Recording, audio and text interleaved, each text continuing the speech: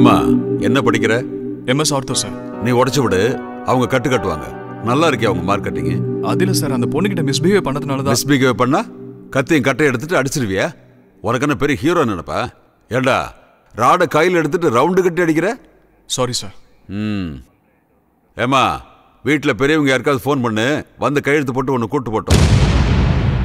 இப்படியே தலை குனிஞ்சு உட்காந்தா எந்த பிரயோஜனம் இல்லை. யாருக்காவது ஃபோன் பண்ணு.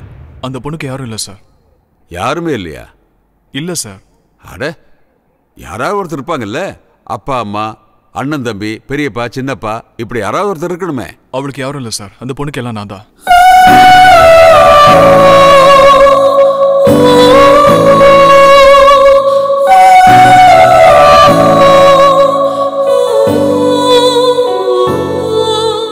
உண்மையாவே யாரும் இல்லை என்ன நம்புங்க. இது என் ஐடி கார்டு. நான் ஒரு சாஃப்ட்வேர் இன்ஜினியர் ப்ராப்ளம் வந்த ரெஸ்பான்சிபிலிட்டி என்னோடது. ம் சாஃப்ட்வேர் அப்படியா நீங்க?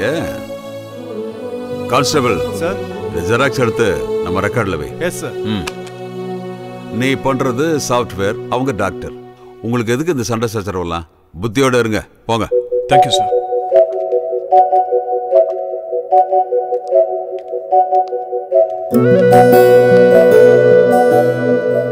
மன்னிச்சிரு வைஷா வீட்டில் பெரியவங்களுக்கு தெரிஞ்சு ஸ்டேஷனுக்கு வந்தால் நல்லா இருக்காது இல்லையா? அதான் அப்படி போய் சொன்னேன். எனக்குன்னு யாரும் இல்லை. எனக்கு என்னன்னாலும் பரவாயில்ல. ஆனால் என்னால் உங்களுக்கு எந்த ப்ராப்ளமும் வந்துடக்கூடாது உனக்கு ப்ராமிஸ் பண்ண மாதிரி இனிமேல் உன் கண்ணில் படவே மாட்டேன். வாங்க.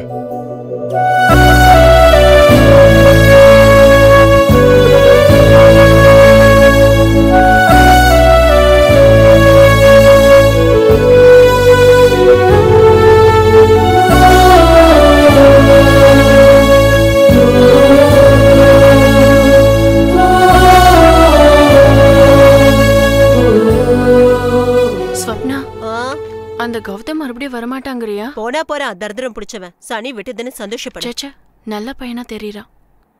எனக்கு என்னமோ நான் தான் அவனை அவாய்ட் பண்றதா தோணுது.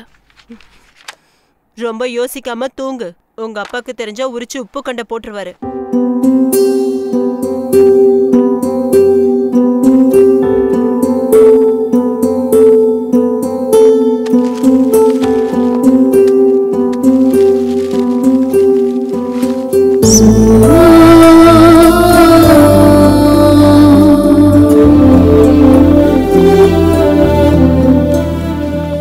வைஷு நான் பிறந்தது வளர்ந்தது எல்லாமே இங்கே தான் இங்கே தான் தெரிஞ்சது ஒரு மனுஷனுக்கு குடும்பங்கிறது எவ்வளோ அவசியம்னு.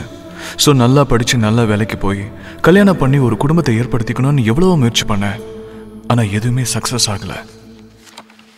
அதுக்கு காரணம் என்னன்னு உன்னை பார்த்தப்புறம் தான் தெரிஞ்சது. கல்யாணங்கிறது கடவுள் சொர்க்கத்தில் நிச்சயம் பண்ணுவாருன்னோ எனக்காகவே உன்னை கடவுள் படைச்சிருக்காருன்னோ அன்னைக்கு தான் எனக்கு தெரிஞ்சது. நான் ஆசைப்பட்ட மாதிரியே உங்களோடது கூட்டு குடும்பம்னு நான் தெரிஞ்சுக்கிட்டேன். எப்படியாவது உங்களை பார்க்கணும்னு உங்க கூட பழகணும்னு தான் அப்படி போய் சொன்னேன். அது தப்புன்னு எனக்கு தெரியும். ஆனா வேற வழியில் அதப்போ தப்பு பண்றது தப்பு இல்லைங்கிறது என்னோட ஃபீலிங் உன்னை பார்த்த அந்த நொடி தான் என் வாழ்க்கையிலேயே அற்புதமானது. என் வாழ்க்கையில எனக்கு பிடிச்சது உங்க அப்பாவித்தனம். என் வாழ்க்கையில நான் பயப்பட்டது உங்ககிட்ட திட்டு வாங்குறதுக்கு. என் வாழ்க்கையில என்னோட குறிக்கோள் உங்களையே கல்யாணம் பண்ணிக்கிட்டு உங்க குடும்பத்துல நானும் ஒருத்தனா ஆகணும். என்ன மனப்பூர்வமா நீ மன்னிப்பேன்னு நம்புறேன்.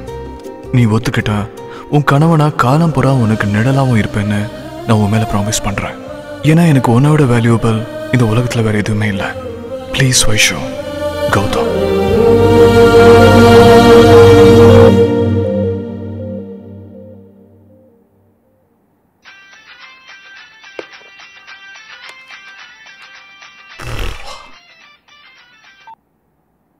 Hello hello? நான் வைஷ்ணவி. ஆ பேர் வந்துச்சுங்க. என்ன பண்றீங்க?